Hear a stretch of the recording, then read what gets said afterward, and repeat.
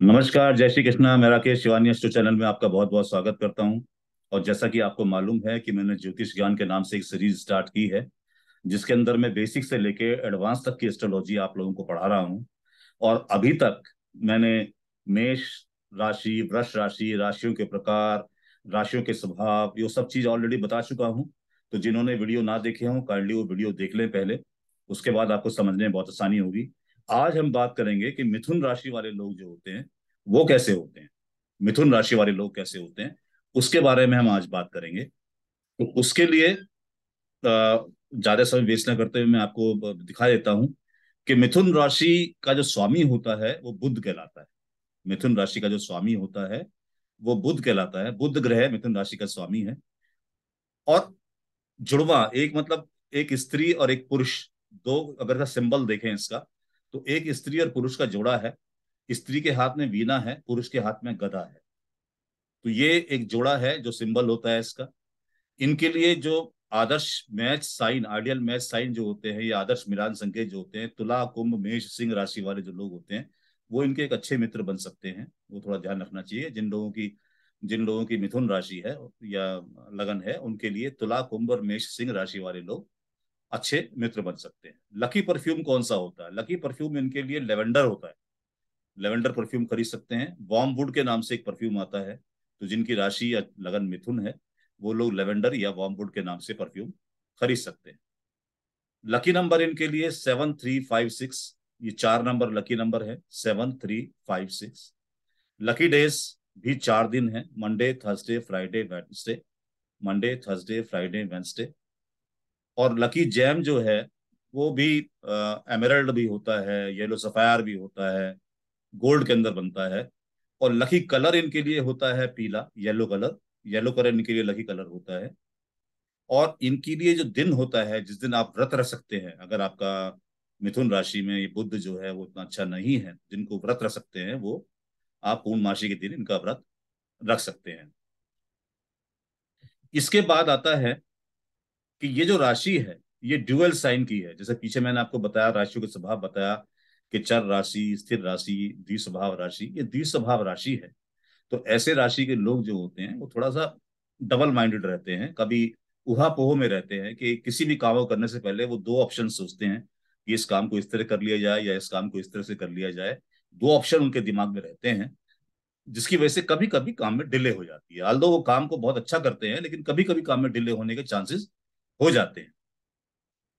Airy राशि है। Airy means के जैसे हमने उसके अंदर बांटा हुआ है, हमारी पृथ्वी है, वायु राशि है, जल राशि है, आकाश राशि है, हमने ऐसे ऐसे राशियों को बांटा हुआ है तो ये पृथ्वी राशि होती है।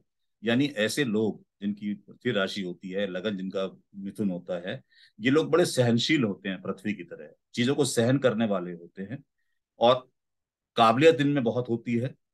लेकिन एक प्रॉब्लम होती है कि ये फोकस नहीं कर पाते ठीक से। कहीं भी किसी चीज़ पे जिनका मिथुन राशि या लगन है, वो ढंग से फोकस नहीं कर पाते। सेक्सी ज़्यादा होते हैं क्योंकि एक कपल की तस्वीर है सिंबल है, इसके अंदर बना हुआ एक आदमी और एक औरत का। द्विपाद राशि है, क्योंकि आदमी है तो द्विपाद हो गया दो पैर होते हैं तो द्विपाद राशि है। तो मैंने जैसे पहले आपको बताया कि चतुष्पाद राशि वाले लोगों को सोसाइटी के अंदर, समाज के अंदर अपनी ताना बाना बैठाने में थोड़ी प्रॉब्लम होती है, पर द्विपात राशि वाले लोगों को अपना समाज में बैठाने में, ताना बैठाने में कोई प्रॉब्लम नहीं होती है। वो कहीं भी किसी लेवल पर भी बात कर लेते हैं। शीर्षोदय राशि होती है। शीर्षोदय राशि ऐसी राशि जो जब उगती है, क्योंकि राशियाँ जो है, क्या है? राशियाँ तारों का समूह है, जैसे मैंने आपको बताया।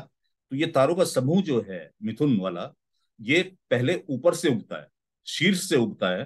पहले प्रकाश शीर्ष में आता है, फिर धीरे धीरे नीचे प्रकाश आता है। इसलिए इसको शीर्षोदय राशि बोलते हैं।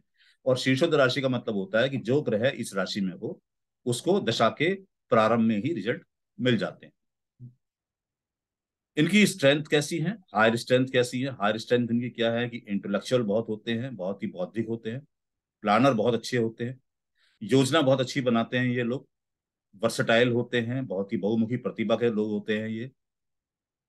मजाकिया होते हैं, मज़ाक करने में बड़े परफेक्ट रहते हैं, मिथुन राशि या मिथुन लगन वाले लोग। आकर्षक भी बहुत होते हैं लॉजिकल बहुत होते हैं लॉजिकल होते हैं। यानी तर्क से बात करने वाले होते हैं, किसी भी चीज़ को ऐसे नहीं मान लेंगे, उसका तर्क आपसे पूछेंगे कि उसके पीछे क्या तर्क है। लाइवली होते हैं, यानी बहुत ही मनोरंजक टाइप के होते हैं इन्वेंटिव होते हैं, खोज करने वाले होते हैं अम्यूजिंग होते हैं यूथफुल होते हैं, बहुत मतलब युवा हैं, भरे हुए हैं मतलब एक जिसे कहना चाहिए ताजगी से फॉन्ड ऑफ़ रीडिंग पढ़ने का बहुत शौक होता है इनको राइटिंग राइटिंग का बहुत शौक होता है, इनको लिखने का बहुत शौक होता है। इंडोर एक्टिविटीज़ का भी बहुत शौक इनको होता है। आर्टिस्टिक बहुत होते हैं, उसका भी बहुत इन्हें शौक होता है। क्योंकि बुद्ध मिथुन जो है, वो कालपुरुषी कुंडली में तीसरे भाव में पड़ती है। तो तीसरे भाव के जितने भी गुण आ जाते हैं राइटिंग का है रीडिंग का है, या इंडोर एक्टिविटीज़ का है, या आर्ट का गुण है, शिल्पकारी का गुण है, वो सारे गुण इनके अंदर आ जाते हैं। बहुत अच्छी इमेजिनेटिंग पावर इनकी होती है, कल्पनाशील पावर होती है, बड़े अच्छे मैथमेटिशियन भी होते हैं ये, और जिज्ञासु बहुत होते हैं। किसी भी चीज़ को सीखने की क्षमता इनकी बहुत ज़्यादा रहती है। जहाँ इनमें हायर स्ट्रेंथ है, वहाँ कुछ इनकी लोअर स्ट्रेंथ भी है क्योंकि डबल ड्यूअल मीनिंग राशि है। मैं से पीछे बताया आपको ड्यूअल राशि है, द्विस्वभाव राशि है तो वेवरिंग माइंड है। थोड़ा हर चीज़ के लिए सोचते हैं कि भाई, ऐसे कर लिया जाए या वैसे कर लिया जाए, थोड़ा कई बार वेवरिंग माइंड रहता है इनका, इसलिए काम में कई बार डिले भी हो जाता है। थोड़े मन डगमगा जाता है, इनका नर्वस हो जाते हैं कई बार। रेस्टलेस थोड़ा मन में बेचैनी रहती है इनके।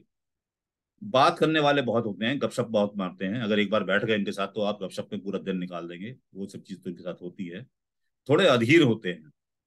थोड़े चिड़चिड़े भी होते हैं।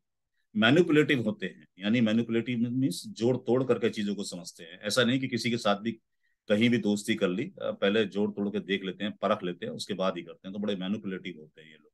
ड्यूअल पर्सनैलिटी होती है। ये तो हमने बताया कि दोहरा व्यक्तित्व इनका है। ये देखना पड़ता है कि ये चीज़ों को इसलिए कंफ्यूजन में रहते हैं। इसके बारे में एक बहुत अच्छा श्लोक है मिथुन राशि के बारे में। वो कहते हैं कि मिथुनोदय संजातो मानी स्वजन वत्सला, त्यागी भोगी धनी कामी, दीर्घ सत्रो अरिमर्दना। यानी ये क्या बोलता है? ये बोलता है कि मिथुन राशि में जन्म लेने वाले व्यक्ति आत्मसम्मान से भरपूर होते हैं। अपने ही लोगों के प्रिय होते हैं। स्वजन वत्सला।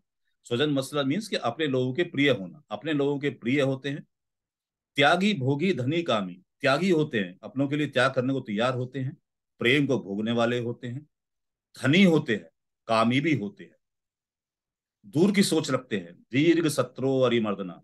और दुश्मनों पे अरिमर्दना मीन्स अरि मीन्स बोलते हैं शत्रु को। मर्दन मोल मिलते हैं, शत्रु का मर्दन करना तो दुश्मनों पर विजय प्राप्त करने वाले भी होते हैं। अपनों के साथ इनकी बॉन्डिंग बहुत अच्छी होती है, पार्टी की जान होते हैं, धनी होते हैं, जुगाड़ू होते हैं लॉन्ग टर्म प्लानिंग करने वाले होते हैं, चतुराई से शत्रु का दमन करने वाले होते हैं, जैसे भगवान श्री कृष्ण के बारे में है, ऐसे ही ये चतुराई से शत्रु का दमन करने वाले होते हैं, ये इनमें खास बात है। तो मिथुनोदय संजातो मानी स्वजन वत्सला त्यागी भोगी धनी कामी, दीर्घ शत्रु हरिमर्दना। तो ये थे मिथुन राशि के गुण जो आपको समझ आए होंगे। इसमें कोई प्रॉब्लम हो, कहीं कोई समझने में दिक्कत हुई हो तो आप कमेंट्स डाल सकते हैं, उस कमेंट्स का जवाब आपको मिलेगा।